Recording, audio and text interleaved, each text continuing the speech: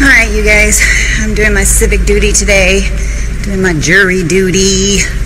We just broke for lunch. And I'm tired. I haven't done anything all day. But I'm, I'm, I'm tired. Oh my god, it is so hot in LA, y'all. It's so hot today. It's a beautiful day, though. Okay, guys, I finished with jury duty, and now I'm back at the dentist. Fifth time's a, fifth time's a charm.